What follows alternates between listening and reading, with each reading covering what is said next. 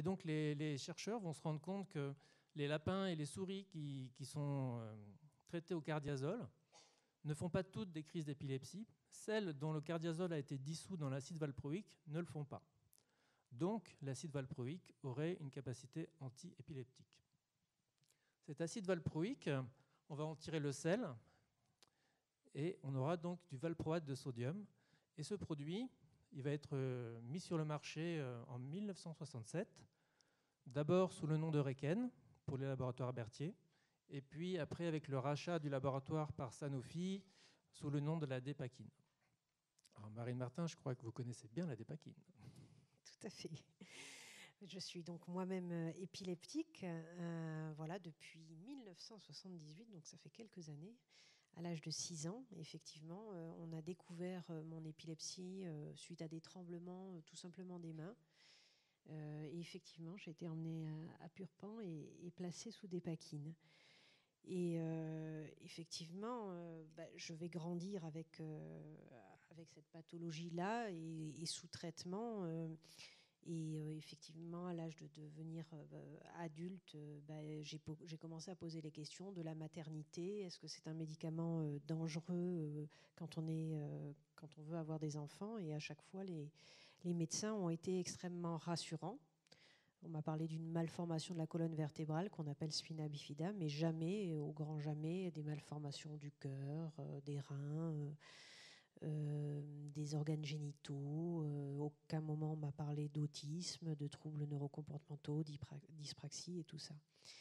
Donc euh, c'est en fait un petit peu par hasard que je vais faire le lien entre la prise du médicament pendant mes deux grossesses, donc celle de ma fille en 99, Salomé, et par la suite Nathan en 2000, tiens, il y a une petite, je vais voir coquille, 2002, mais bon, c'est pas grave. Euh, voilà, et, donc effectivement, euh, c'est un, c'est un hasard puisque à l'époque, je vivais à Montpellier. Et dans la presse, on parlait des malformations urogénitales provoquées par des pesticides. et mon fils va naître avec une malformation de la verge. Je vais me dire, tiens, c'est bizarre, il n'y a pas ça dans la famille. Euh, voilà. Et puis, le temps va passer et en fait, à l'âge de marcher, il marchait pas et à l'âge de parler, il parlait pas. Et là, je vais me dire, c'est trop de malchance pour être honnête. Et je vais repenser à cet article de pesticides en me disant, moi, je ne sniffe pas des pesticides toute la journée. Par contre, je prends un médicament quotidiennement pour soigner mon épilepsie. Et on est en 2009 et tout simplement, à ce moment-là existe un merveilleux outil qui s'appelle Google, qui n'existait pas en 2002. Et je vais taper médicaments dangereux pour la grossesse au lieu de pesticides dangereux pour la grossesse. Et là, je vais tomber sur le site du CRAT, le Centre de recherche des agents tératogènes à l'hôpital Trousseau à Paris. Et je vais découvrir que le mot tératogène, ça veut dire enfant monstrueux en grec. Et que le premier médicament le plus dangereux, c'est le roaccutane, l'antiacnéique et le deuxième, c'est la dépakine, celui que je prends quotidiennement. Je me jette sur ma boîte de dépakine. Et il y avait marqué exactement la même chose qu'en 99 et 2002, euh, au moment des naissances de mes enfants, consulter votre médecin. Ce que j'avais fait, et encore une fois, j'étais à Montpellier, j'étais pas dans un petit village euh, paumé, loin de toute fac de pharma, euh, mal informé. Non, non, j'étais suivie à l'hôpital. voilà, j'ai été très bien suivie. Donc, quand je vais découvrir le lien de causalité, ça va être le choc.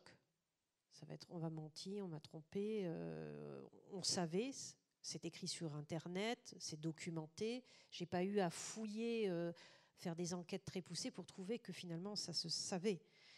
Et donc, euh, passer le choc, à ce moment-là, je vais me dire mais, mais mince, l'épilepsie est une maladie extrêmement répandue, potentiellement il y a énormément de victimes, il faut informer, il faut lancer l'alerte, il faut, il faut dénoncer ce scandale. Voilà. Et, donc, euh, à ce moment-là, je découvre aussi qu'il existe une association en Grande-Bretagne qui s'appelle l'OACS, Organization of Anticonvulsivant Syndrome. Et euh, je vais me rendre compte qu'aussi en France, il y a eu déjà des procédures du côté de Tours en 2008-2009 euh, et, donc avec tous ces éléments-là, effectivement, je me suis dit, ben, en fait, les gens savent, mais personne ne m'a informé, rien n'a changé, il faut vraiment lancer l'alerte. Donc moi, je vais faire le choix de médiatiser l'affaire pour pouvoir informer d'abord les autres familles dans la même et regrouper les familles au sein de, l'association APESAC. Donc APESAC, ça veut dire l'association des parents souffrant du syndrome de l'anticonvulsivant. C'était une manière pour moi de ne pas dire l'association des victimes de la dépakine parce que forcément j'avais peur que le laboratoire me tombe dessus. Donc voilà, et petit à petit, en médiatisant l'affaire, les gens vont me contacter. Euh, effectivement, et rapidement, euh, je vais avoir énormément de contacts. Je vais commencer à référencer les familles de victimes et je vais commencer à estimer. Et c'est pour ça qu'aujourd'hui, enfin, je serai la première à, donner les, premiers chiffres de 35 000 victimes, mais ce sera confirmé par la suite euh, par les études de l'Agence du médicament. Euh, et, je vais obtenir des autorités sanitaires, donc l'agence du médicament qu'on appelle ANSM, que des, effectivement des évaluations soient faites sur le nombre potentiel de, victimes. Et oui, hein, enfin, alors je me suis amusée avec mes petits schémas parce que j'ai les chiffres. Euh, voilà, euh, en, 2011, quand je crée l'association APESAC, il y a quand même 1819 grossesses euh, sous des paquines encore, euh, alors qu'aujourd'hui, euh, on a bien diminué grâce aux mesures justement d'information. Et si on n'avait pas fait ce travail pendant plus d'une dizaine d'années de changement des conditions de prescription, ben, aujourd'hui, les, femmes, je pense, ignoreraient toujours les dangers de ce, médicament chez la femme enceinte. Quoi. Donc, voilà, 35 000 victimes sur 50 ans de prescription, c'est énorme. Euh, encore une fois, euh, c'était le blockbuster de chez Sanofi, le médicament le plus utilisé euh, à spectre large, ce qu'on appelle, c'est-à-dire qu'il fonctionne sur une large forme d'épilepsie différente, parce que dans l'épilepsie, il y a effectivement ce qu'on appelle les crises grand mal, avec les chutes, convulsions, mais il y a également les épilepsies de type absence, où on déconnecte juste quelques instants, et finalement, des fois, ça, passe très inaperçu eh bien, ce médicament, il marchait pour toutes les formes d'épilepsie. Donc, il était effectivement euh, très apprécié euh, des neurologues. Il a été aussi utilisé pour d'autres maladies Oui. Il est utilisé même pour oui, parce que tout à fait, euh, en, comme vous l'avez très bien dit, en 67, il va être commercialisé pour, pour l'épilepsie. Mais en 78, il va commencer à être commercialisé pour la bipolarité. Et comme comme à chaque pathologie, il faut donner un nom différent, et ben on va le commercialiser pour les bipolaires sous des pacotes d'épamide. Et il est même utilisé euh, parce qu'il a des propriétés antimigraineuses. Alors en France, c'est interdit, mais je sais que des médecins l'utilisent, ce qu'on appelle hors AMM, hors utilisation de mise sur le marché. Et donc il est prescrit dans certains cas euh, pour la migraine. En Belgique, il est toujours utilisé euh, pour la migraine. Voilà. Donc heureusement en France, on a réussi à l'interdire enfin, il est complètement sorti de l'autorisation de mise sur le marché pour euh, la migraine. Euh, mais par contre, euh, voilà, il, reste quand même aussi utilisé pour la bipolarité. Mais effectivement, après la révélation de ce scandale, je vais aller à l'Agence européenne du médicament pour faire modifier les conditions de prescription parce que rapidement, je vais me rapprocher de mes homologues anglaises. Et ensemble, euh, on va demander euh, des modifications de, prescription pour que effectivement les femmes soient informées euh, des 30 à 40% de troubles autistiques qu'il engendre et des troubles neurocomportementaux en général et, des malformations. Et moi, enfin, là, ce sont mes chiffres à moi. Dans les chiffres des familles qui contactent la PESAC, ce chiffre est beaucoup plus élevé puisqu'on on, monte jusqu'à 70% d'enfants qui sont handicapés suite à l'exposition. Quand, vous dites que vous, avec vos collègues anglaises, vous, allez demander à ce que demander auprès de qui? Euh, alors, il faut, comprendre que les États, euh, avec la création de l'Europe, ont, quand même une, des libertés qui sont un peu réduites. Et pour beaucoup et bon nombre de médicaments, euh, les conditions de prescription se, se, décident au niveau européen. Donc, la European Medicine Agency, qui jusqu'à encore il n'y a pas très longtemps se situait à Londres et qui, depuis que les chers britanniques ont quitté l'Europe, et maintenant à Amsterdam. Mais euh, voilà, donc ça, à ce moment-là, ça s'est décidé au niveau de l'Europe. Et c'est encore aujourd'hui, euh, au niveau de l'Europe, que je suis allée imposer les pictogrammes, euh, que je me bats aujourd'hui sur d'autres antiépileptiques pour qu'effectivement on change les conditions de prescription, notamment récemment de l'Epitomax, un médicament qu'on a aussi interdit chez la femme enceinte. Donc les États ont une certaine liberté, mais elles sont sous contrôle de l'Europe. Donc, donc voilà, ça a été un, combat aussi européen et il a fallu que je me remette à l'anglais pour aller débattre de, de l'importance d'interdire ce médicament chez la femme enceinte. Donc en fait, vous n'avez pas directement contacté l'État français. Vous êtes passé par, par l'Europe et c'est redescendu sur, euh, sur, les, sur la Alors j'ai fait les deux en fait. Oui, j'ai contacté mes, mes, homologues européennes et ensemble on a, on a demandé cette réévaluation. Et effectivement, après, la France a été saisie du dossier.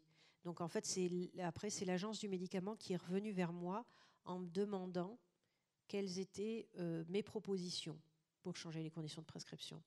Et c'est à ce moment-là que je, suis retournée voir les conditions de prescription du roi Roaccutane, cet antiacnéique dont je vous parlais, et que j'ai pris le modèle du protocole d'accord de soins qui existait pour ce médicament-là, que j'ai proposé au niveau européen pour, euh, pour la dépakine. Et c'est comme ça qu'on va réussir à faire changer les conditions de prescription. Et ça, c'était en 2013. Alors pour l'anecdote, le Roaccutane, euh, sur le site du CRAT, en fait, le, la dépakine, je crois que c'est le deuxième médicament tératogène. Mais le premier, le plus tératogène, euh, c'est le Roaccutane. Oui, c'est ça. Euh, personnellement, euh, moi, je viens d'une époque où, dans les années 90, j'étais ado et on avait de l'acné. Et en fait, tous les ados étaient traités au Roaccutane. Par contre, les médecins de famille ne demandaient pas systématiquement aux jeunes adolescentes si elles avaient des relations sexuelles avant de prescrire le Roaccutane. Donc ça, déjà, à mon sens, c'est déjà un problème. Mais bon, c'est une aparté. Oui, oui, mais, euh, mais c'est tout aussi scandaleux. Je suis d'accord. Euh, voilà, aujourd'hui, le médecin qui va se focaliser sur une pathologie, euh, là en l'occurrence c'est l'épilepsie, son, son, obsession, ça va être stabiliser sa patiente pour pas qu'elle en meure. Et voilà, qu'elle ait des enfants après par la suite et que ses enfants soient handicapés, c'est pas son problème. D'ailleurs, les contacts que quelquefois après j'ai eu avec les neurologues, c'est ça quoi. Eux, leur importance, c'est que leur patiente ne meure pas. Euh, le reste, ce que devient euh, leur descendance, ils s'en fichent. À la limite, de la, euh, ce sera de la responsabilité des pédiatres. Et, c'est là où je leur dis, mais attendez, enfin, vous êtes face à des femmes malades qui ont une pathologie, vous allez leur, leur laisser mettre au monde des enfants malades, vous avez le devoir de les informer des dangers. Et il y a une loi, le consentement éclairé, la loi de 2002, qui impose de, voilà, d'annoncer tous les effets secondaires d'un médicament. Vous ne pouvez pas omettre ça. Quoi. Et ça, c'est compliqué de leur faire comprendre euh, tout ça. Parce qu'au au final, euh, on, sait, les premières études qui montrent la, toxicité de, de, la dépakine, elles datent de quand? Alors, euh, dès le départ, on a vu que c'était phétotoxique et que ça créait des malformations. Parce qu'en fait, on ne peut pas faire d'essais cliniques chez la femme enceinte. Par contre, on en fait chez les animaux. Donc, très rapidement, chez les animaux, on va voir que ça provoque des malformations. Pour les troubles neurocomportementaux, ça va être des observations et des cas de pharmacovigilance euh, dès les années 80. Les premiers signalements, 84, sur les troubles neurocomportementaux. Voilà, ça c'est quelques chiffres. Aujourd'hui, bah, je gère plus de 7900 victimes sur tout le territoire national, avec énormément d'avortements euh, médicaux de grossesse qui ont dû avoir lieu parce que il, se rendaient compte qu'il y avait des malformations importantes ou des décès. Et euh, voilà, bon, là, c'est quelques, dates clés euh, dans lesquelles on va faire effectivement évoluer les choses. Mais, excusez-moi, je ne sais plus où on C'était sur. Peut-être on peut revenir sur, sur, les chiffres. Donc là, 7900 victimes. victimes, c'est quoi? Alors, ce sont des, des, enfants, enfin des jeunes qui nous ont contactés à la PESAC et qui euh, nous demande comment euh, demander réparation, comment obtenir un diagnostic, euh, quelle est la prise en charge, etc. etc. Donc ça, c'est qu'une toute petite partie, finalement, des, des, victimes, parce que certaines ne passent jamais la barrière du mail ou du coup de fil. Quoi. Donc, certains ne se rendent pas compte qu'ils en sont victimes. Oui. Certains refusent de l'accepter. Mm. et certains l'acceptent mais ne vous appellent jamais. Oui. Oui, oui, parce que bah, déjà, il y a une culpabilité euh, qui est énorme. Enfin, moi, quand j'ai compris que j'avais empoisonné mes enfants en prenant ce médicament pour me, me soigner, ça a été très difficile de l'accepter. Euh, on se dit, j'aurais dû savoir, j'aurais dû m'en douter, mon instinct de mère ne m'a pas euh, dit que, voilà. donc, donc, je pense qu'il y a des femmes pour lesquelles c'est encore difficile de, de l'accepter et qui n'arrivent pas à à me téléphoner, même si elles sont en souffrance ou en errance de diagnostic. Et puis, euh, voilà, enfin, les pathologies qu'ont les enfants, l'autisme, des malformations physiques. Il y en a dans la population générale, donc il faut avoir fait le lien entre la prise du médicament et les pathologies, et ça, c'est pas toujours le cas. S'ils tombent sur une émission, sur un article de presse, ils vont comprendre. mais souvent, c'était, c'est suite à la médiatisation que les familles m'appellent.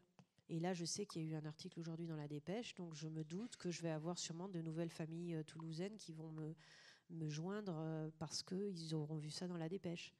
Mais, euh, mais voilà, donc moi, très vite, je vais comprendre, parce que je vais voir Irène Frachon à la télévision en 2011 dans le scandale du Mediator, l'importance de la presse. Et que c'est comme ça qu'on apprend finalement un lien de causalité où, et, et finalement, la plupart des victimes vont vont me contacter suite à un passage dans la presse. Alors du coup, vous parlez de la, culpabilité des parents et des mères. Euh, j'ai envie de vous demander, mais euh, il y a d'autres acteurs quand même dans ce scandale. Euh, il y a le laboratoire, il y a l'État, il y a les praticiens. comment, comment le laboratoire, par exemple, il, se justifie C'est quoi les, les arguments de sa défense? C'est pas de ma faute, c'est de la faute de l'agence du médicament parce qu'elle m'a donné l'autorisation de mise sur le marché du médicament. Alors moi, je compare souvent au Dieselgate parce que j'avais une Polo Volkswagen diesel qui est tombée sur le. Euh, on n'a pas demandé à l'État allemand euh, euh, de payer à la place de Volkswagen pour l'arnaque de la consommation de, la voiture. Donc, je suis désolée. oui, l'État français savait et a laissé faire le laboratoire. il est complice et ils ont fini par reconnaître leur responsabilité. Euh, mais ça ne dédouane en rien la responsabilité du laboratoire qui a clairement pas informé sur les risques de, son médicament pendant la grossesse. Donc, donc voilà, ils sont co-responsables. Et même pour moi, parce qu'on en parle plus rarement dans la presse, les médecins sont responsables parce que ça se savait effectivement au niveau des, RCP, des notices à destination des médecins. On savait euh, l'aspect malformatif. Je pense qu'ils n'avaient pas euh, idée de la mesure, de l'importance des troubles neurologiques que ça pouvait euh, créer. Mais, encore une fois, ils ne voulaient pas s'en passer de ce médicament. C'était le best-seller pour soigner l'épilepsie. et donc, c'était quand j'ai interdit la dépakine chez la femme enceinte et en âge de procréer, je leur ai supprimé un outil thérapeutique. Et il fallait qu'ils utilisent d'autres antiépileptiques qui étaient des fois un peu moins bien supportés, un petit peu plus compliqués à utiliser. Et ça, il y a eu un déni qui a été euh, farouche au départ. Hein. Parce que comme j'aime bien faire un peu des coups foireux, je suis allée, je suis plus au congrès des gynécos euh, et des neuros à Montpellier euh, les premières années où on a mis en place le protocole. Et je me suis introduite en douce dans le congrès. Et j'ai entendu les neuros qui disaient Moi, j'en ai rien à foutre de leur protocole, je ferai signer ça à la patiente et je continuerai à prescrire de la dépakine. Donc, c'est bien qu'ils ne voulaient pas supprimer ce bon outil, entre guillemets, euh, de l'arsenal thérapeutique. Et donc, ça a été compliqué. Euh, c'est pour ça que, encore une fois, la médiatisation m'a aidé avec les caméras cachées qu'on a envoyées chez, pour vérifier qu'on respectait finalement les nouvelles conditions de prescription. Et il a fallu, et il faut encore aujourd'hui, enfin moi je travaille beaucoup avec l'agence du médicament, envoyer des courriers aux prescripteurs pour pister les médecins qui prescrivent encore aux femmes en âge de procréer de l'acide valproïque. On est obligé de les fliquer. Il y en a encore aujourd'hui Oui, il y en a encore. Parce que du coup, euh, je reviens sur ce chiffre-là. Oui. Ici, là, peut-être vous pouvez nous, nous, en parler un petit peu. On a l'impression qu'il y a encore des femmes euh, enceintes qui sont, qui sont traitées sous, Oui, tout à fait. Il y a encore des enfants qui naissent sous, sous des baquines encore aujourd'hui. On ne pouvait pas l'interdire parce que, encore une fois, il y a des femmes ce qu'on appelle pharmacorésistantes. À la différence de d'autres euh, scandales sanitaires comme le Mediator qui servait à faire maigrir, qui servait à rien, ou le distilben euh, qui, soi-disant, préservait des fausses couches, etc., qui servait à rien, la dépakine est un médicament utile. donc, euh, effectivement, c'est un médicament dangereux chez la femme enceinte, mais c'est un médicament utile. Donc, il continue à être prescrit, on ne pouvait pas l'interdire. Euh, mais par contre, il faut que la femme soit clairement éclairée. Et puis, il doit être prescrit en dernière intention, après essai de tous les autres alternatives. Et après, bon, si la femme, enfin moi comme je le dis, euh, on peut vendre une bouteille d'alcool à une femme enceinte si elle la consomme, ben, euh, tant pis pour elle hein, et son bébé, hein, c'est pas raisonnable. Et ben, voilà ce que je dis euh, de la dépakine. Euh, si la femme veut absolument ce, produit, il faut qu'elle le sache de manière éclairée. Et, et aujourd'hui, il y a quand même d'autres médicaments sur le marché qui permettent de stabiliser l'épilepsie. Donc, moi, je ne comprends pas qu'il y ait encore autant de grossesses sous des paquines. Ça veut dire qu'il y a des médecins qui n'informent pas correctement, sûrement les patientes. Et là, euh, normalement, début décembre, euh, avec l'agence du médicament, des courriers vont être ciblés aux médecins prescripteurs. Parce que ça, je leur ai dit à l'agence, avec les datas qu'on a aujourd'hui, on est capable d'identifier un praticien qui donne un médicament euh, à une femme épileptique. il y a une traçabilité avec les cartes vitales mais je suis obligée de batailler avec l'agence euh, pour qu'ils fassent leur devoir de gendarme du médicament. C'est à eux d'être les gendarmes et de dire Ouh là là, mais pourquoi vous prescrivez de la dépakine à une femme enceinte? Avez-vous réellement essayé les alternatives thérapeutiques C'est pas à vous, en tant que citoyenne, euh, de venir contrôler. Et pourtant, bah, si moi je flique, je flique la NSM pour qu'ils fassent leur boulot.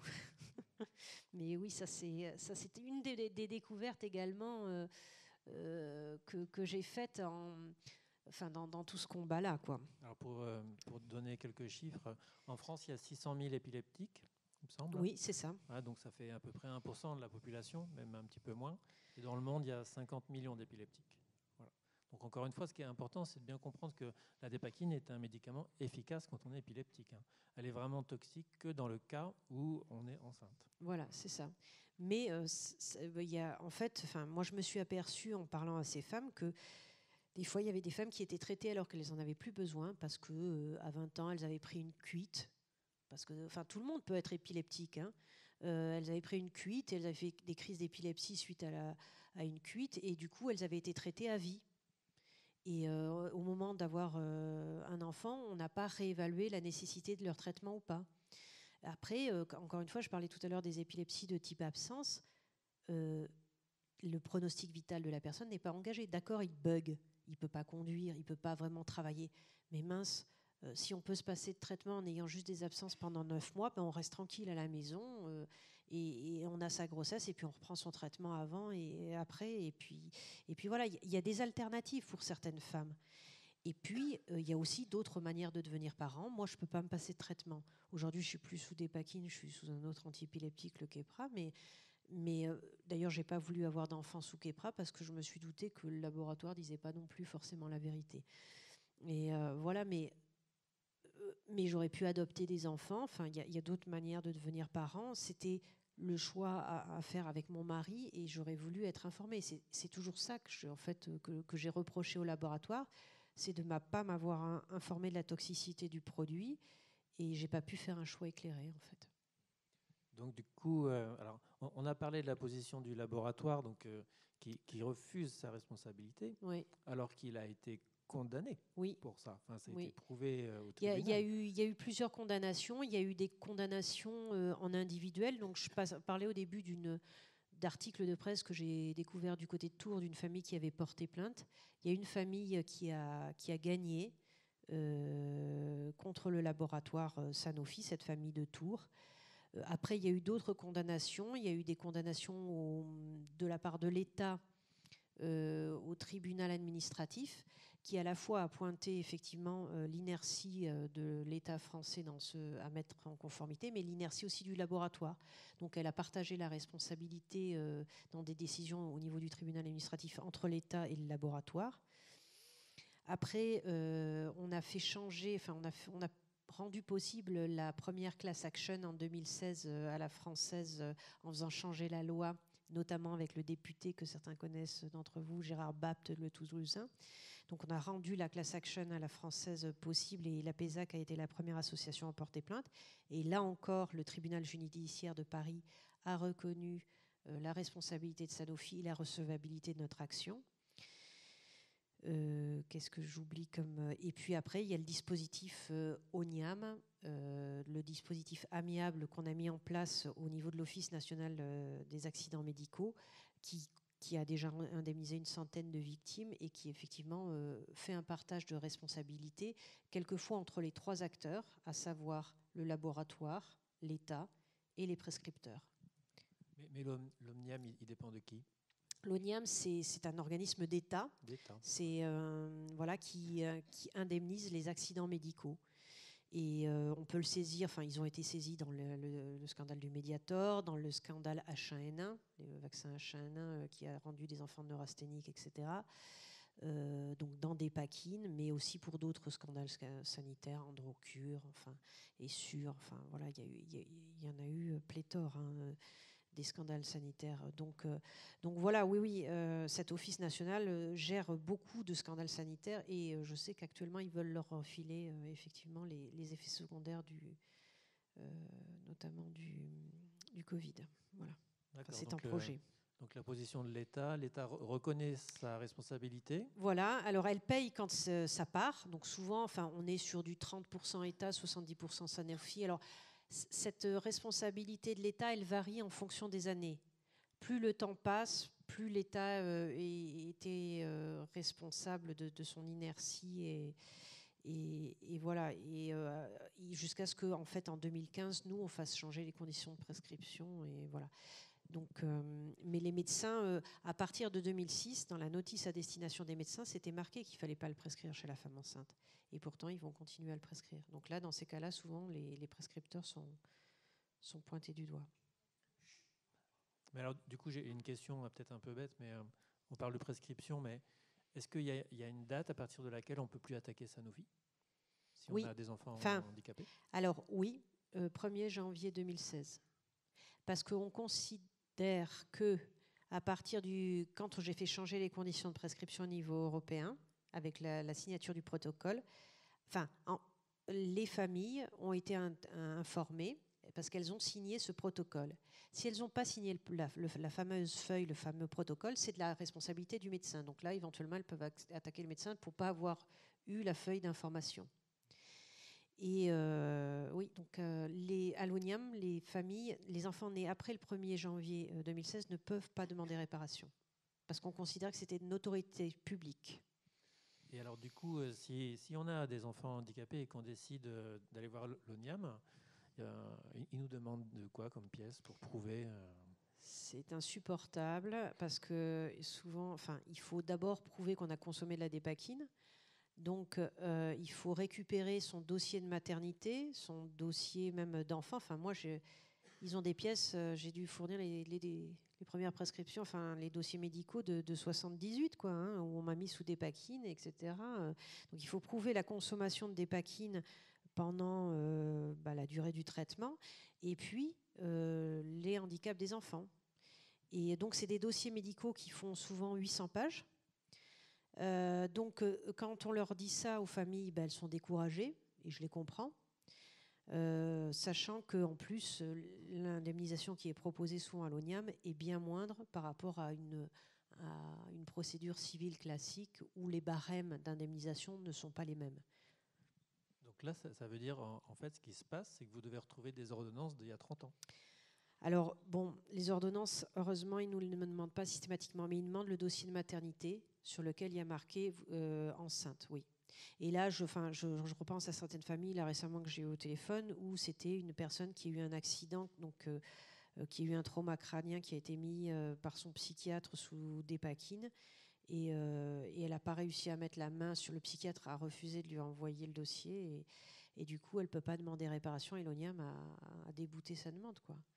Pourtant, elle était déjà traitée avant, après. Elle n'a pas exactement le dossier de maternité. Du coup, il refuse de l'indemniser. Donc, il y a beaucoup de familles qui actuellement sont découragées. Et d'ailleurs, récemment, ça a fait un peu la, une dans la presse, puisqu'il y a des, sénateurs et des députés qui se sont saisis de ces dysfonctionnements de l'ONIAM, parce que l'ONIAM n'est pas bienveillante à l'égard des victimes et ne les aide pas dans leur demande de réparation, parce qu'ils nous demandent des, des... Enfin là, actuellement, ils en sont à demander des factures de couches d'il y a 20 ans, est-ce qu'on a gardé euh, les factures de couches de, de l'énurésie Donc, c'est le fait que les enfants fassent pipi, euh, etc., parce que souvent, il y a des troubles neurocomportementaux. Donc, quand on n'a pas de facture, ben, ils, nous, euh, nous indemnisent à hauteur d'une couche par jour. Alors, je dis en, en blaguant, mais c'est pas vraiment drôle. C'est comme dans les EHPAD, quoi. C'est aussi lugubre, comme si une seule couche suffisait à un enfant. Ouais, c'est voilà. Bon, bref. Donc non, ils sont pas bienveillants à l'égard des victimes et c'est un combat quotidien qui est usant. Donc, euh, on voit que c'est compliqué, mais vous avez quand même eu des succès, parce qu'on a parlé de, de la class action, mais il n'y a pas eu que ça. Oui, euh, oui, oui. Euh, c'est vrai qu'on a attaqué sur un peu tous les fonds dans des procédures civiles, dans des procédures pénales. Dans, on a attaqué, donc je l'ai dit, l'État. et effectivement, on, a eu des, victoires, mais, mais Sanofi est systématiquement dans la contestation, puisqu'il refuse à la différence du laboratoire Servier dans le dossier Mediator, qui avait reconnu assez rapidement sa responsabilité, Sanofi euh, refuse en bloc. Et actuellement, ils ont fait plus de 250 contentieux pour, euh, pour attaquer, euh, 240 recours pour ne pas payer euh, dans le dispositif amiable à l'ONIAM. 240 recours. Donc moi, ça fait 10 ans que je suis dans la procédure civile. Systématiquement, ils contestent toutes les décisions.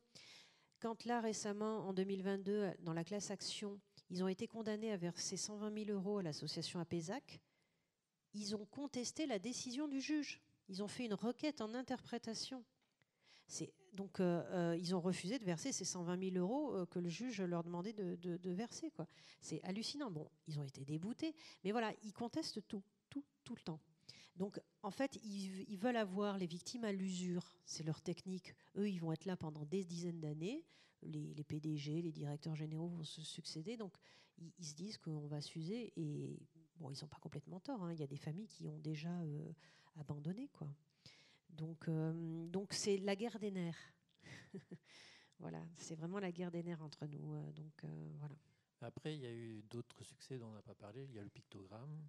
Oui, parce que effectivement, euh, je ne veux pas être que dans le combat judiciaire, c'est important, euh, mais euh, il n'y a pas que celui-ci. moi, quand je voyais les, je reprends l'alcool parce que c'est vrai que ça m'a marqué. En fait, les dégâts de la dépakine sur le fœtus sont similaires aux faciès des enfants d'alcooliques. On retrouve la lèvre supérieure fine, le nez épaté, les yeux un peu en amande, etc. Donc ça m'a beaucoup marqué parce que j'étais pas alcoolique et j'avais un enfant qui avait un visage alcoolique. Enfin, psychologiquement, c'était très très compliqué. Et, euh, donc, euh, c'est pour ça que bah, tout naturellement, bah, j'ai regardé les bouteilles d'alcool avec ce pictogramme et je me suis dit, mais mince, c'est sur les bouteilles d'alcool et pourquoi c'est pas sur les médocs? Et là, je me suis dit, mais enfin, à l'époque, j'avais une, étudiante qui travaillait avec moi et qui avait fait du droit. Elle me dit, mais Marine, ça, doit pouvoir se changer. On va faire un décret. Je dis, allez, chiche, on y va. Et donc, on, commence à écrire le décret. Comme déjà, je travaille avec des parlementaires, j'ai trouvé un parlementaire, alors centriste cette fois-ci, qui m'a aidé du centre de la France, euh, euh, qui était sensibilisé parce qu'il avait quelqu'un de, proche touché par l'épilepsie. Et donc, en fait, c'est cette sensibilité-là qui a fait que, ensemble, euh, c'était un sénateur, on a, on a mis en place les pictogrammes. Et euh, à ce moment-là, c'est vrai qu'avec l'agence du médicament, ça s'est plutôt bien passé. Euh, et, et, le gouvernement, c'était à l'époque du gouvernement de Touraine qui était quand même beaucoup plus facile. Et j'ai eu, euh, eu une écoute quand j'ai proposé ces, amendements. Et, et, on a pu faire changer la loi au niveau national. Et puis après, je suis allée le porter en 2017 jusqu'en Europe. Et donc c'est pour ça que, et comme j'ai pas voulu le faire que pour la dépakine, j'ai fait le décret pour euh, pour tous les médicaments euh, dangereux. Mais je me rappelle très bien que j'avais été choquée que sur les bouteilles d'alcool, ce soit en noir et blanc. Et là, je me suis dit, moi, je ne me ferai pas avoir. Je vais spécifier dans le décret que je veux que ce soit en couleur et une taille minimum. Parce que vous verrez sur les bouteilles d'alcool, vous avez des petits pictogrammes qui sont comme ça, il y en a d'autres qui sont comme ça. Ils n'ont pas tous le même standard. Donc là, j'ai imposé un centimètre minimum. Voilà. Ça paraît, ça paraît con, hein, mais euh, la couleur et la taille, eh ben, il faut le faire inscrire dans la loi, sinon euh, les, lobbies pharmaceutiques le modifient. donc, pas que sur les médicaments d'épakine, sur tous les médicaments toxiques pour les femmes enceintes. La seule chose, bah, si on peut parler des fois des, des défaites, c'est que euh, ce qui m'a contrarié, c'est que moi j'aurais voulu que ce soit l'agence du médicament qui impose le pictogramme en fonction des médicaments. Eh bien non, ce sont les laboratoires qui choisissent quel pictogramme ils veulent mettre sur leur boîte. Donc où est-ce qu'il est le gendarme là? Il faut qu'on m'explique. C'est encore les labos qui, font ce qu'ils veulent. Donc s'ils veulent ouvrir le parapluie, hop, ils sortent le gros pictogramme interdit. S'ils sont un peu moins truc, ils sortent le logo danger. Après, vous avez aussi fait modifier les, notices. Oui, en 2015, là, au niveau de l'agence européenne, c'était peut-être le truc d'avant. ah oui, ah oui après, attends, hop, là, oui, en 2004, 2006 et puis 2015. Oui, on va, on va mettre en place ce fameux protocole euh, à remplir et à signer, parce qu'effectivement, euh, les phrases, c'était laconique. Consultez votre médecin. Euh, voilà, et donc là, on va mettre des, choses extrêmement précises pour, pour informer clairement les femmes, parce que parce qu'elles n'avaient pas accès jusque-là à l'information, quoi. Alors là, je vais vous montrer euh, la notice du Vidal. Alors le Vidal, euh, donc c'est le dictionnaire des médicaments qui est, utilisé par, les, médecins en France. Euh, nous, à la bibliothèque, on avait l'édition de 96. Voilà. Donc en 96, alors donc ça fait déjà 10-15 ans qu'il y a des études sur la toxicité du médicament. Voilà ce qu'on peut lire, voilà ce que les médecins oui, les médecins, ce qui, n'est pas les patientes, parce que pareil, il faut remettre les choses dans le contexte 96, vous n'avez pas Google.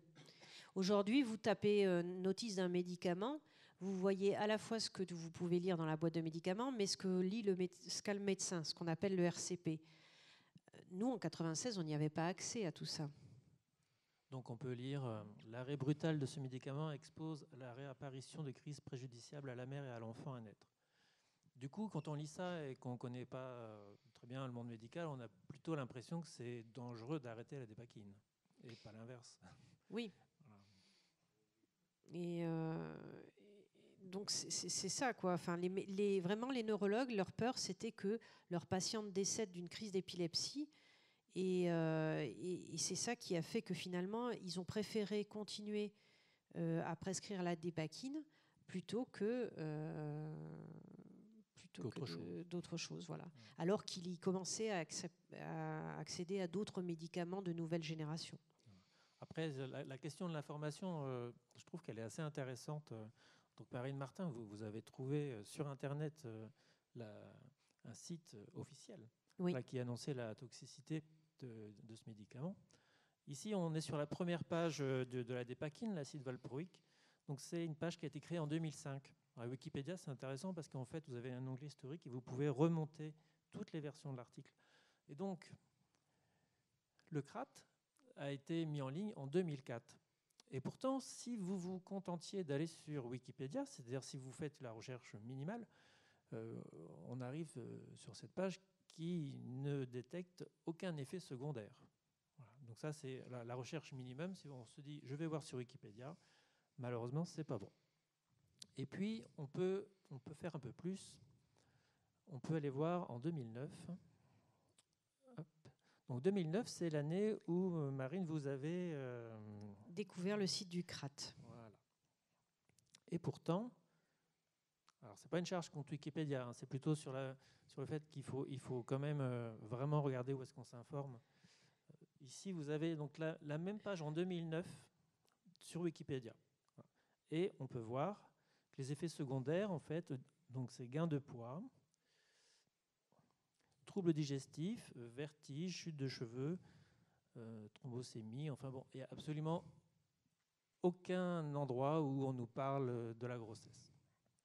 Et donc, du coup, j'ai envie de vous demander, vous, euh, vous vous êtes pas contenté de la page Où ça?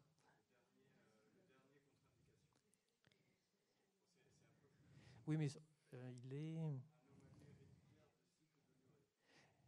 Oui, alors le cycle de l'urée, c'est pas, enfin, c'est pas exactement la même chose. C'est pas la grossesse, oui. Mais bon, ce qui est intéressant, c'est que vous vous êtes pas contenté euh, de la première réponse de Google. Vous avez creusé et creusé. Vous avez creusé longtemps euh, Non, pas tant que ça en fait. Enfin, je veux dire rapidement. J'avoue que quand je suis tombée sur le site anglais anglo-saxon et que j'ai vu le visage du nourrisson sur le site internet des Anglaises, je me suis dit, mais comment ça se fait qu'ils aient une photo de mon fils? Et là, j'ai compris que ce n'était pas une photo de mon fils, que c'était une photo d'un visage d'enfant d'Épakine. Et que j'ai découvert le faciès d'Épakine, et que voilà. Et, ça, ça a été un, choc, euh, parce que j'avais l'impression qu'on nous avait volé le, visage de nos enfants. parce qu'ils étaient marqués. Et, donc, il a fallu un, moment de passer ce choc pour pouvoir effectivement discuter avec d'autres familles et de savoir de cette information que j'avais trouvée, qu'est-ce que j'allais en faire? Qu'est-ce que j'allais en faire? Et, effectivement, J'avoue que 2011, l'année du, scandale du Mediator, j'ai vu Irène Frachon à la télévision et je me suis dit waouh, cette femme, elle est, elle est formidable. C'est possible de combattre un laboratoire, elle s'attaque à Servier. Euh, pourquoi ce ne serait pas possible de s'attaquer à Sanofi? Et c'est comme ça que je vais oser, euh, enfin, je vais contacter l'avocat euh, des victimes du, du Mediator et, que je vais commencer le combat judiciaire parallèlement. Et effectivement, comme c'était aussi un avocat médiatique, je vais lui demander, parce que j'ai très vite compris que si je voulais toucher d'autres familles, il n'y avait que par la presse. Si j'attendais des pouvoirs publics qu'ils informent, je pouvais attendre très longtemps. Donc, euh, au début, d'ailleurs, entre 2011 et 2016, je vais patiner. Euh, je vais écrire, moi, aux pédiatres en leur disant attention, la dépakine, c'est dangereux, le site du CRAT, etc mais on va me rironner partout. On va me rironner. Et c'est là que je vais comprendre, je vais avoir perdu d'une certaine manière plusieurs années, parce que je pensais partir vers le bas, euh, écrire dans les CAMS, les choses comme ça, euh, en leur disant attention, c'est dangereux. Et puis en fait, après, quand je vais voir que ça marche pas, je vais me dire bon, il faut que tu partes du haut de la pyramide de l'agence du médicament pour qu'elle leur donne les ordres à eux prescripteurs de ne plus le ou que ça existe ou que ce diagnostic peut être posé quoi. Parce que le problème, c'est qu'il va y avoir des problèmes de diagnostic. Euh, effectivement, euh, comme la, maladie est méconnue, euh, les médecins vont avoir du mal à accepter de poser le diagnostic, dire que c'est la dépakine, c'est dire qu'il y a eu un défaut d'information. Et là, et puis surtout, le nom des médecins commence à apparaître en bas des diagnostics. Derrière, ils se font remonter les bretelles par, par Sanofi. Donc, quand ils ont des petits projets de recherche dans leur CHU, c'est plus difficile d'avoir des financements. Du coup, vous, euh, Marine, euh, vous en pensez quoi de la pharmacovigilance à la française? Alors ça fait peur, puisque maintenant je suis devenue patiente experte à l'agence du médicament. Je vois, j'ai ouvert un peu la boîte de Pandore et je vois comment ça se passe derrière le rideau et ça fait peur. En fait, c'est une institution qui a assez peu de moyens globalement. Ils ne sont pas si nombreux que ça. Et en fait, ils agissent que dans l'urgence. C'est-à-dire quand ils sont alertés par un, problème euh, de composition dans le lévothyrox, de, voilà, des paquines, Madame Martin qui fait encore du bruit, machin, tout ça, ils disent Ouh là là, c'est un dossier urgent, ça va nous péter à la gueule, vite, vite, vite, on s'en saisit et on y travaille. Mais ils ne travaillent que dans l'urgence. Donc en fait, la pharmacovigilance, elle est quasi nulle, quoi. Et puis, euh, effectivement, normalement, les médecins, quand euh, un patient vient les voir et déclare un effet secondaire, ils, ils devraient aller derrière leur petit ordinateur, déclarer l'effet secondaire ils sont tellement acculés par le boulot qu'ils ne le font pas. Donc, euh, si vous, vous n'allez pas sur le site de l'agence du médicament, je sais plus, j'avais fait un petit schéma pour euh, déclarer euh, les effets secondaires d'un médicament, bah, personne ne le sait. Hein. Donc, nous, les associations, maintenant, on, le fait. On a signalé des, effets secondaires sur d'autres antiepileptiques et sur la dépakine, bien sûr. Mais, mais en fait il n'y a, pas tellement de pharmacovigilance. Hein. Enfin, c'est quasi, quasi nul. Quoi. Et au niveau européen, c'est pas mieux non plus. Hein. Donc, du coup, euh, on a un laboratoire euh, avec beaucoup de moyens qui, se cache derrière euh, un organisme de pharmacovigilance qui n'en a pas. Oui. J'ai envie de dire, est-ce qu'il n'y a pas un conflit d'intérêts ah ben, il y avait euh, des conflits d'intérêts et je ne suis pas sûre qu'aujourd'hui ce soit euh, si, transparent que ça. Le problème, c'est que souvent les médecins qui travaillaient dans les laboratoires euh, avaient travaillé à l'agence ou travaillaient, enfin après avoir travaillé à l'agence, travaillent dans des laboratoires. Donc il y a des, ils ont du mal à critiquer les laboratoires, voilà. Et donc souvent on se retrouve avec une agence qui est finalement sous le sous le joug des laboratoires et qui font ce que ce qu'il aurait demandé. Puis d'une certaine manière, enfin, il faut refaire l'histoire de l'agence du médicament. Elle a été créée après, alors avant de s'appeler la NSM, elle s'appelait l'AFSAPS.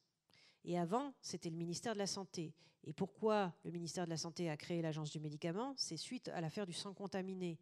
Pour plus que les ministres s'en prennent plein la poire et se fassent poursuivre dans des procédures judiciaires. On préférait, hop, qui c'est le mauvais élève C'est l'agence. Donc l'agence, la NSM, elle est là pour se prendre les coups dans la tronche à la place des ministres de la Santé. C'est une coquille vide. C'est une coquille vide.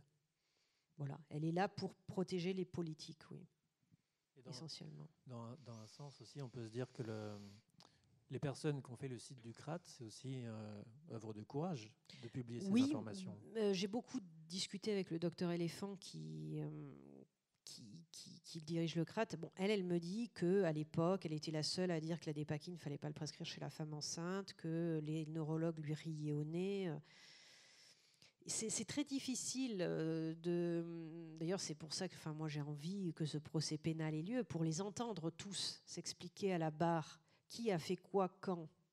Euh, très exactement. Pourquoi, euh, pourquoi ben dans ce cas-là, cette personne-là, elle n'a pas lancé l'alerte Pourquoi elle n'a pas tapé du poing sur la, la, la table Elisabeth Éléphant à l'époque donc je, tout ça, je, je, ne sais pas. Il y a encore des choses que, que j'ignore. Pourquoi ça a mis autant de temps? Pourquoi il a fallu que ce soit moi qui, qui médiatise l'affaire et qui fasse changer euh, ça quoi? On n'a pas eu une Irène Frachon euh, dans le scandale de, de la dépakine. Moi, j'aurais bien aimé qu'il y ait un médecin qui, qui lance l'alerte. Mais là, ça n'a pas été le cas. Du, coup, quand, quand Sanofi euh, rachète le, le, laboratoire Berthier, oui. Est-ce que vous pensez qu'il sait déjà que le médicament a des effets nocifs? Sur les animaux, oui, oui, oui, bien sûr. Oui, sur les animaux. Euh, et puis 84, les cas de pharmacovigilance, oui, oui, oui, il les, il les a. Il les a, puisqu'ils sont. Enfin, nous, on les a retrouvés après. Hein, j'ai récupéré les données de pharmacovigilance, donc oui, il le sait. Mais c'est l'épilepsie, encore une fois, c'est une maladie extrêmement répandue, c'est un marché porteur. Pourquoi aller signaler qu'il y a un effet indésirable? Vous, vous êtes intimement persuadé qu'il y a une forme de malhonnêteté? Oui, oui, on est des consommateurs. On est des consommateurs, on est là pour consommer merde, le truc, le produit, il a un petit défaut, il a un défaut, merde, est-ce qu'on est obligé de le dire? C'est pas leur problème, la maternité. C'est juste un, effet euh, collatéral, quoi. Euh, du coup, euh, j'ai envie de vous demander, vous, avez encore confiance en la médecine? Ça, se passe comment Je garde un esprit critique. Voilà. Après, les médicaments, on en a besoin. Moi, je ne peux pas vivre sans médoc, je meurs. Donc, je ne vais pas dire heureusement que la médecine existe. Voilà. Euh, mais par contre, euh, je n'hésite pas à m'interroger et je ne prends pas tout pour argent comptant. Je, reste euh, voilà logique. Enfin, ce qui m'a amené à, comprendre ça, c'est de me dire ce médicament, il est là pour calmer les décharges électriques du cerveau de la maman, donc forcément, il agit sur le cerveau du fœtus en développement. Voilà, je suis pas médecin, je suis pas spécialiste, mais quand même, euh, ça, paraît logique. Donc aujourd'hui, euh, quand je prends un médicament, il faut vraiment que je sois malade. Donc euh, il faut vraiment que j'ai très très mal à la tête pour prendre un doliprane. Et si possible, pas de chez Sanofi. Ça, c'est ma petite psychologie à moi quand je vais en pharmacie. Donnez-moi de l'UPSA, même s'ils ont tous leur casserole. Hein, ça, du coup, il reste encore des combats à mener. Qu'est-ce qu'il reste à faire pour, euh, Oui, oui, oh oui, oh oui, parce que là, euh, comment dire, euh, Sanofi, il, s'en tire pas trop mal parce que comme il paye pas au, au dispositif amiable, actuellement c'est de l'argent public, c'est vos impôts qui payent le fonds d'indemnisation des victimes de la dépakine. Et Sanofi ne paye pas. Alors, bien sûr, l'ONIAM fait des actions récursoires pour aller récupérer l'argent public, mais ça va prendre des dizaines d'années. Et puis, comme il se trouve que Serge Weinberg, le PDG de chez Sanofi, c'est le meilleur copain d'Emmanuel Macron et que c'est grâce à lui qu'il est rentré chez Rothschild, et qu'encore aujourd'hui, lui, il est invité à l'Élysée, moi pas, et eh ben je me dis que ouais, c'est pas gagné encore. Hein. Voilà, donc, mais bon, faut, David contre Goliath, faut jamais désespérer. Et puis, ce sont des petites pierres, voilà, à l'édifice. Aujourd'hui, si déjà euh, je les ai associés à un scandale sanitaire, et eh ben, euh, c'est déjà énorme. Euh, secondo, si j'ai réussi à informer et à faire prendre conscience aux femmes enceintes que attention médicaments et grossesse, c'est pas n'importe comment et que c'est dangereux et que voilà, il faut, réfléchir avant qu'on prenne de prendre un traitement sur le fait qu'effectivement il soit indispensable ou pas, ben c'est déjà énorme. voilà. Et puis si aujourd'hui il y a des enfants qui ça peut leur permettre d'être indemnisés, de mieux vivre au quotidien et, et, surtout aux parents de se dire bah, qu'ils peuvent s'en aller sereinement en se disant qu'ils ont mis quelqu'un au quotidien pour gérer leur gamin, euh, c'est bien aussi. Quoi. Voilà, c'est déjà beaucoup. Oui, il me semble aussi, et c'est pour ça qu'on vous avait invité aujourd'hui.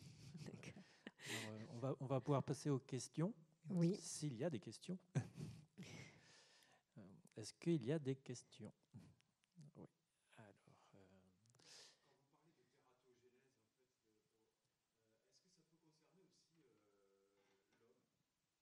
Alors oui, c'est une question que j'aimerais effectivement euh, pouvoir creuser. Je ne peux pas justement tout, faire, mais euh, oui, on sait. Alors on le sait euh, d'ores et déjà, et l'ANSM commence à s'y pencher. Ça, affecte, comme l'alcool, la quantité et la qualité du sperme. Ça, c'est une certitude. a priori, la question qu'on se pose, c'est est-ce que l'acide valproïque passe dans l'enveloppe en fait du sperme? La perméabilité du sperme, et arrive dans le vagin de la femme. Ça, il y a des études qu'il faudrait qui, soient menées et qui ne le sont pas. Mais encore une fois, je ne sais pas s'ils le feront puisqu'ils vont chercher que des ennuis. Euh, voilà. Et imaginez s'ils trouvent, ils vont devoir indemniser euh, potentiellement ce genre de victimes-là. Donc euh, voilà, c'est moi pour moi c'est hautement probable. Mais effectivement, il faudrait que l'agence du médicament fasse mettre à disposition de chercheurs des études et qui, qui regardent ça de plus près.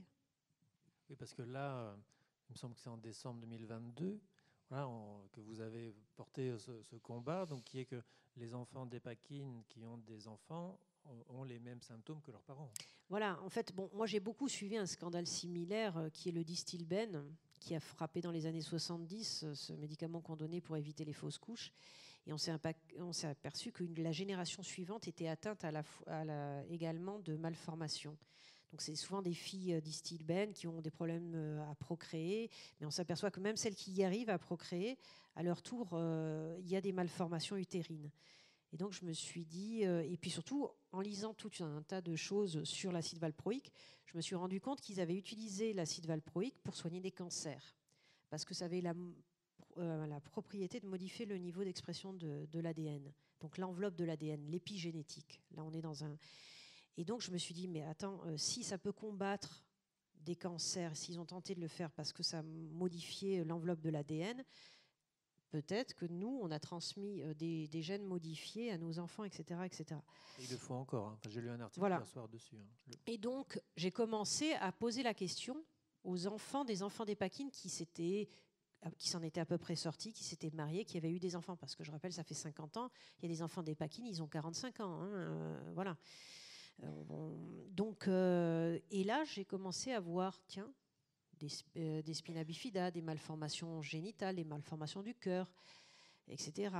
Et là, j'ai commencé à recenser. Parce que je sais très bien que la pharmacovigilance n'existe pas, donc autant que je la fasse. Donc j'ai commencé à recenser. Et là, moi, j'ai trouvé et comme je, travaille avec des chercheurs, donc notamment Catherine Hill, je lui ai fait analyser mes données. Et effectivement, euh, on a un taux de malformation qui est anormal. Euh, euh, voilà, donc j'ai alerté Agnès Buzyn à l'époque en lui demandant voilà, il faut absolument que vous fassiez des études. Il y a un impact transgénérationnel du valproate. Ça s'explique par justement cette modification de l'enveloppe de l'ADN. Il y a des études là-dessus, etc., etc. Oui, oui, oui, oui, oui, oui. Ok. Euh, ils ont commencé à faire des fausses réunions avec l'INSERM, tout en m'excluant des conseils scientifiques euh, et en me regroupant avec des associations de patients d'autisme qui comprenaient rien à ce que je leur racontais quand moi je présentais mes chiffres avec Catherine Hill. Là, j'ai compris qu'on était en train de me placardiser. La moutarde m'est montée au nez, donc je me suis fâchée contre le directeur de l'INSERM et il, il m'a dit Mais Madame Martin, euh, vous avez qu'à publier vos données. Et là, je me suis dit Bon, mon coco, ok, tu me prends encore pour une guignole, je, tu me prends au mot, j'y vais. Et donc, avec Catherine Hill, la grande épidémiologiste qu'on a vu beaucoup sur le Covid, des médecins, j'aime bien souvent travailler avec des retraités qui, qui ont souvent beaucoup d'énergie, qui ont euh, une notoriété, un carnet d'adresses fabuleux.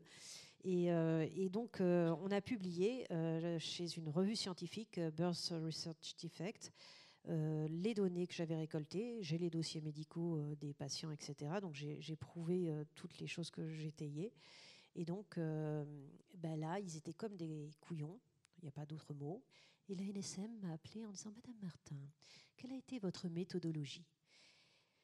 Eh bien, euh, j'ai fait comme euh, on a fait pour le Distilben, un questionnaire euh, passé aux patients, récupérer des pièces médicales, analyser les statistiques, et là, on, montre qu'il y a un signal.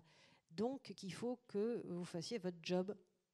Et donc là, ils sont en train de déclarer à la pharmacovigilance les cas que j'ai regroupés dans mon association. Donc c'est pour ça que quand me demande est-ce qu'il y a une vraie pharmacovigilance? Euh, comment dire? C'est vous? voilà. Et euh, d'ailleurs, des fois, c'est les conseils que je donne aux associations. Euh, je leur dis, mais récupérez vous aussi vos datas. Parce que quand vous avez vos datas et que vous allez voir un ministère ou un autre en disant, regardez, j'ai tant de pourcentage, machin, quand vous montrez que c'est étayé, ce que vous dites, ils peuvent plus ne vous dire, vous dire que ça n'existe pas. oui, peut-être, mais voilà. Donc c'est le contre-pouvoir, c'est la presse, c'est la publication, c'est tout ça effectivement qui et les politiques, les institutions ne répondent que sous cette pression. Et du coup, j'avais une question un peu personnelle. Tout ce combat là, il faut des larges épaules. Et vous l'avez mené sous des paquines ce combat? Parce que là, on voit euh, perte de euh, non, quand euh, j'ai découvert le lien de causalité, donc 2009-2010, entre l'exposition, je pouvais plus voir le pot en peinture. vraiment, parce que c'est un flacon. Et, et donc là, j'ai demandé à changer de traitement. Et effectivement, j'ai mis 4 ans quand même à être stabilisé à peu près avec un autre traitement. mais non, non, je pouvais plus supporter. Et encore aujourd'hui, oui, c'est Enfin bon, des fois, je, dis en rigolant, bonjour, c'est Madame Martin, Madame Despaquines. Euh, voilà, Finalement, euh, sous Despaquines, vous n'auriez peut-être pas eu l'énergie de mener le combat. Non, parce que moi, ça m'a, fait vraiment bizarre quand j'ai arrêté la Despaquines. Je me suis rendu compte que j'étais pas du tout euh, apathique, enfin beaucoup moins apathique, beaucoup plus dynamique, que le disque dur, comme je dis, il tournait vachement plus, plus rapidement que sous Despaquines. Et c'est là que j'ai compris que bon, effectivement, ça avait eu un impact sur mes enfants, mais c'était pas aussi anodin chez, chez la femme qui, euh, qui le consomme, quoi. Donc, vous euh, étiez un peu ensuqué. Voilà, ensuqué, comme on dit dans le sud, avec l'accent. Est-ce qu'il y a d'autres questions? Ou est-ce que tout le monde en a eu assez?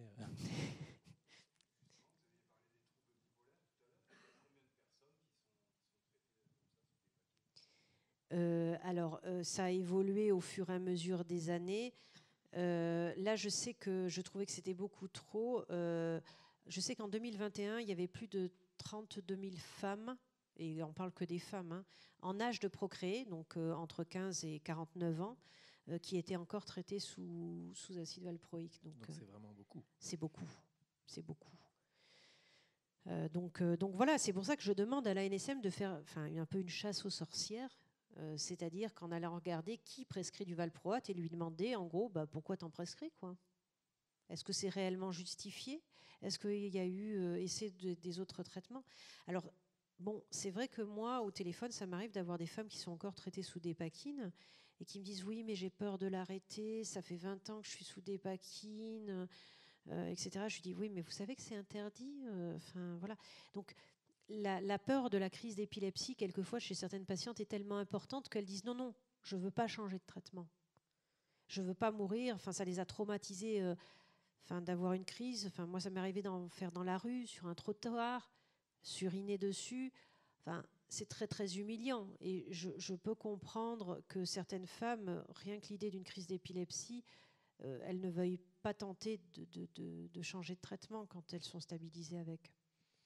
Et en même temps, euh, la chasse aux sorcières, comme vous dites, ça pourrait être intéressant parce que 30 000 patientes, euh, c'est pas 30 000 euh, médecins, c'est peut-être que 1000 médecins. Oui, peut-être. Oui, oui. oui, mais c'est pour ça que, enfin, bon, là ils vont le faire parce que je leur ai foutu une pression. de fou. Donc là, début décembre, il y a des courriers qui vont partir aux praticiens pour, pour leur demander euh, de se justifier sur la prescription. Joyeux Noël. Hein? Joyeux Noël, oui.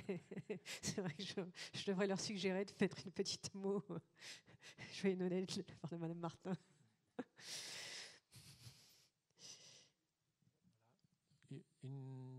Peut-être une autre question ou est-ce qu'on a fait le tour? Ah, Oui.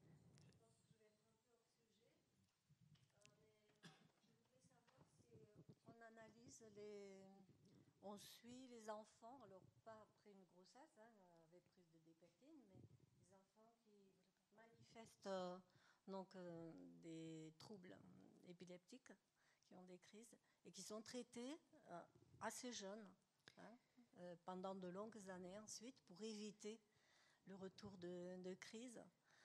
est-ce qu'on est qu'on analyse les effets de, de la prise de dépacking comme ça sur euh, plusieurs années ben, ça, regroupe un peu Parce ça. Que tout ceci, si vous voulez, ces trois éléments en tout mm. cas, euh, apparaissent aussi. Oui, tout à fait. Et là, euh, est-ce qu'il y a des études qui sont faites sur les dégâts entre guillemets potentiels dans le développement oui. normal La, la NSM le sait, oui. Euh, et euh, oui, oui, et ils, étudient. On sait très bien que ça, effectivement, euh, donne des troubles cognitifs importants chez, chez l'enfant, le petit enfant. Oui. Mais n'empêche que là aussi, il y aurait beaucoup à faire. Il y aurait des études à approfondir, à mon avis. et, et, si on s'y penchait dessus, à mon avis, il serait déconseillé chez le jeune enfant. Oui, je suis assez d'accord je ne sais pas si vous vous rappelez du début de l'introduction de, cette conférence, c'est euh, un solvant. ça, donne le vertige. On donne un solvant à des cerveaux de bébés, enfin de, de jeunes enfants en développement. J'ai l'impression de me mettre du vernis à ongles, du dissolvant, là, d'un peu dans le cerveau. Moi, ça me fait un peu cette impression-là. Vous voyez, donc, euh, euh, des fois, bon, je sais que la chimie du cerveau, c'est compliqué, mais c'est vrai que ça fait un petit peu peur quand même. Hein quand on, quand on y réfléchit. Ben, il y, a, y, a 24 antiépileptiques. Donc il y en a des qui sont des plus ou moins euh, neurotoxiques. Pour moi, euh, dès lors que ça agit sur le cerveau euh, du, du, fœtus, de l'enfant, oui, ça, touche de toute façon, je pense, son développement cognitif. Mais il y en a qui sont plus ou moins ouais, agressif. Enfin, on connaissait bien beaucoup dans les années 70 le, les phénobarbitales, hein, le gardénal qui est assez connu euh, comme antiépileptique. Ceux-là aussi sont très abrutissants. Voilà, les nouvelles générations avec le lamictal, avec le Kepra sont quand même un peu moins abrutissants. Donc, euh, donc il y a eu quand même une évolution dans les thérapeutiques, et, euh, mais je pense que cette question n'est pas suffisamment étudiée.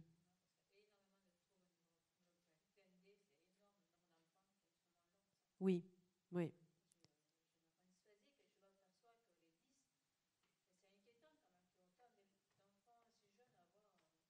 Ah ben moi, euh, sous, euh, sous des paquines, j'avais de l'orthophonie, etc.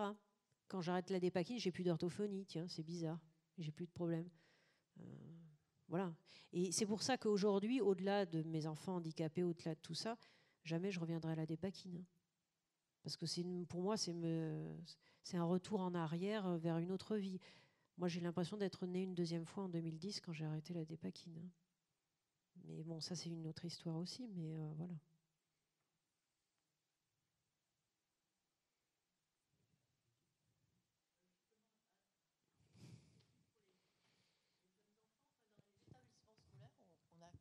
On accueille de d'enfants autistes. Mmh. Est-ce que vous pensez que ça vient forcément euh, de prise de dépakine ou d'autres médicaments? Oui, euh, dépakine et autres médicaments. Et euh, j'aurais envie de dire toutes les aussi euh, les pollutions environnementales qu'on peut, qu'on peut subir. C'est-à-dire que là, bon, on parle de, médicaments, de neuroleptiques. Je pense aussi à tous leurs cousins, les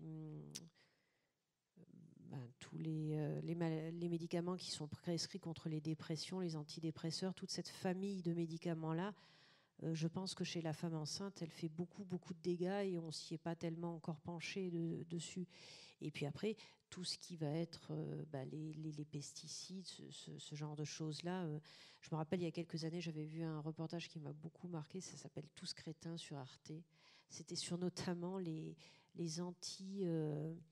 C'est des produits qui mettaient euh, des antiflammes dans les canapés, etc., qui étaient neurotoxiques et tout ça. Et euh, voilà, je, pense qu'aujourd'hui, il y a une pollution environnementale, médicamenteuse qui est très très importante et qu'effectivement, euh, l'être humain est en train de se dégrader neurologiquement. ça, j'en ai une certitude. Et c'est pour ça que pour moi, l'autisme, oui, ne va faire que croître. Ça, c'est certain. Et euh, bon, mais euh, justement, tiens, parmi les choses que j'ai réussi à faire changer, c'est ça, le diagnostic d'autisme. J'ai imposé dans les dernières lois autisme qu'on pose la question au moment du diagnostic, avez-vous pris un antiépileptique euh, pendant la grossesse? De manière à ce qu'on puisse tracer les causes environnementales, voilà. Oui. que tabou, je pense, pour l'instant. Oui, je pense que mm. c'est parce que c'est pas encore passé dans l'esprit qu'effectivement il peut y avoir des causes environnementales. On croit que l'autisme, ça arrive comme ça, c'est un pas de chance. Euh, non, je pense qu'il n'y a pas qu'une histoire. Aujourd'hui, on le diagnostique et autrefois, on ne savait pas le diagnostiquer. C'est pour ça qu'on en trouve plus qu'avant. Non, il n'y a pas que ça. Il y a aussi notre société euh, qui nous expose à des, produits qui, sont, euh, qui font apparaître des nouvelles pathologies. Quoi les, derniers chiffres sur, sur les, cancers hein, montrent que les, les, cancers arrivent de plus en plus tôt. C'est-à-dire que maintenant, on a beaucoup de cancers dès 40 ans. Voilà. parce qu'en fait, euh, notre génération, enfin, la vôtre, euh, ils ont eu moins de produits euh, neurotoxiques dans leur vie, alors que les personnes qui naissent maintenant ou qui sont nées depuis les années 2000, elles ont passé toute leur vie sous produits neurotoxiques. Quoi. Voilà. Et parfois, c'est très simple. Hein. Vous allez dans un magasin de, de meubles, euh, vous vous asseyez sur un canapé en cuir, ben, ben, en fait, euh, il y a un produit neurotoxique dedans. Hein, si vous ne le savez pas, vous ne pouvez pas le deviner. Hein. après, j'avais une petite question, enfin, plutôt personnelle. J'ai ma fille, donc qui a 18 ans, qui a pris de la dépakine pendant trois mois suite à une convulsion. Elle avait 15 mhm. jours. Est-ce que vous pensez que ça a une incidence sur une courte, courte période? Déjà, non. Enfin, je veux dire, alors on me dit, c'est ce que me disaient les médecins, qu'il faut au maximum trois mois pour qu'il soit complètement évacué du corps. Bon. Je, là, pas très clair et je ne sais pas exactement. Je pense que ça dépend aussi des individus, du métabolisme de chacun, le temps d'évacuer les choses. Donc, euh, donc voilà. Euh, après, voilà, si c'est que euh, si que trois mois, c'est très peu. Par contre, voilà, moi je pense que quand on traite quelqu'un pour de l'épilepsie, il faut peut-être attendre de voir si effectivement peut faire une crise d'épilepsie ponctuellement un jour dans sa vie et ne plus jamais en refaire. Euh, moi, souvent, je vois des neurologues qui, mettent assez rapidement sous mmh. traitement au lieu d'attendre qu'effectivement il y ait une deuxième ou une troisième crise qui confirme une épilepsie potentielle, euh, voilà, qui, aurait besoin d'être traitée, etc. Euh, des fois, les, certains médecins ont la prescription facile, mmh. ça c'est sûr. C'était juste une, convulsion en fait. Mais oui, tout le monde peut être épileptique je sais plus, il y avait Orange Mécanique, là où il force à regarder avec les lumières, etc. Enfin, on peut tous devenir épileptiques et je pense que mon médecin me l'avait bien expliqué, c'est voilà une, irritabilité du cerveau, c'est comme une décharge électrique. On met en gros le cerveau en court-circuit, quoi. Mais euh, n'importe quel cerveau est susceptible d'être mis en, court-circuit, quoi. Bah, en même temps, j'ai envie de dire en tant que possible patient, euh, ça m'interroge que la dépakine disparaisse du corps au bout de trois mois alors qu'on a des enfants qui, dont les parents ont pris de la dépakine, eux n'en prennent pas, et, après ils font des enfants qui ont les symptômes de la dépakine. Oui, mais là, parce qu'il y, a une modification épigénétique de l'enveloppe de l'ADN. En fait, les enfants exposés, ils ont, ils ont finalement euh, eu une ADN, enfin, l'enveloppe de l'ADN de modifier. Je suis rassuré.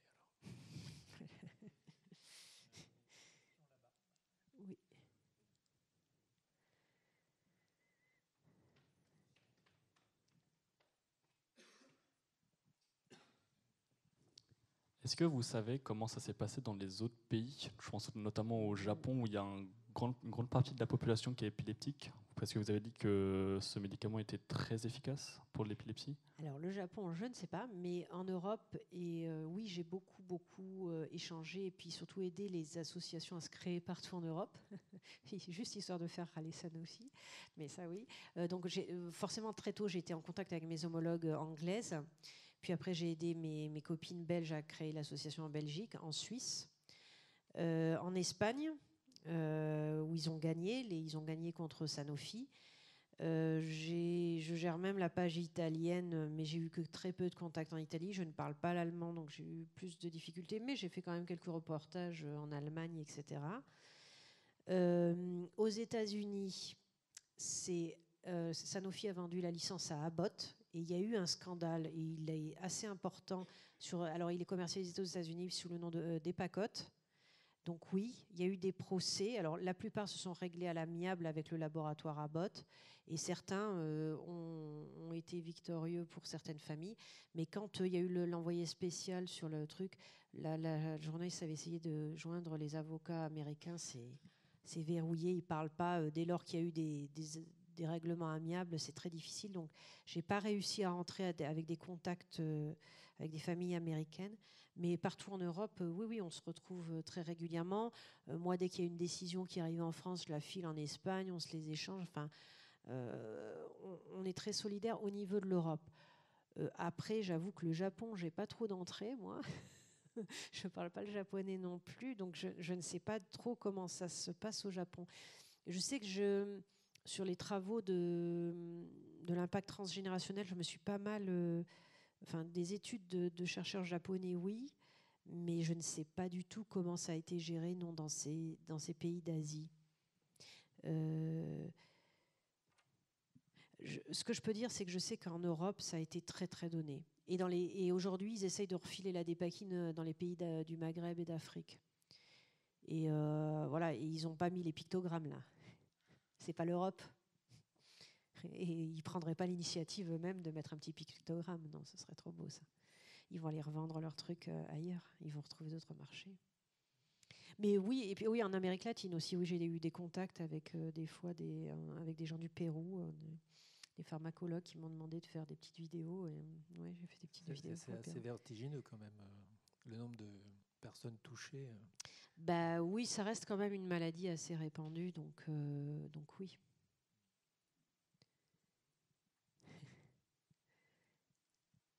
Voilà, donc je vois qu'il n'y a plus de questions. Bah, écoutez, moi je vais vous remercier d'être venu parce que, parce que déjà euh, il faut. Ah, puis j'oubliais le Portugal qui est là quand même, Sandra. Oui, alors Sandra qui est toulousaine d'origine portugaise, vous voyez, qui a euh, fondé l'association au Portugal. Enfin,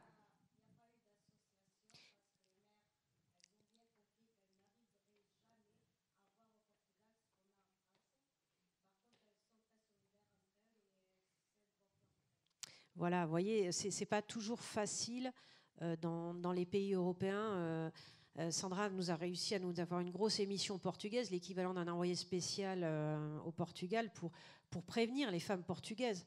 Mais qu'est-ce que tu pourrais dire sur le pictogramme et sur le, protocole européen? En fait, le pictogramme n'est pas appliqué au Portugal. On ne sait pas pourquoi. Pourtant, c'est l'Europe. Hein. le, le protocole de soins n'est pas appliqué au Portugal non plus. Pourtant, je l'ai bien fait, euh, je l'ai bien. On a bien parlé de ça pendant le reportage qui a été fait au Portugal. Tous les médecins sont au courant qu'ils doivent le faire, mais ils ne veulent pas le faire. Oui, euh, c'est ça. C'est-à-dire que le, document en portugais, il existe, euh, comme il existe dans n'importe quel pays. Simplement, si le médecin il l'imprime pas, s'il le donne pas, si c'est pas donné par l'agence du médicament, ben, personne ne vient vérifier dans les faits. Moi, ce que j'ai fait, c'est que la pression médiatique euh, de montrer qu'il existait ce protocole, etc., etc., fait que les gens, euh, enfin, aujourd'hui, les médecins le font parce qu'ils savent que derrière, il y a Marine Martin, sinon qui va gueuler, qui va faire un article encore de la presse en disant que c'est pas respecté. Euh, mais si moi j'arrête cette pression, il y a des paquines, demain vous en entendez plus parler. Hein. Ils n'agissent que sous la pression.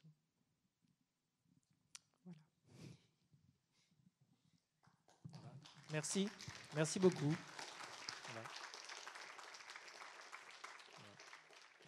Merci de faire avancer les choses. voilà. Et merci d'être venu. J'espère que vous avez trouvé ça intéressant. Voilà.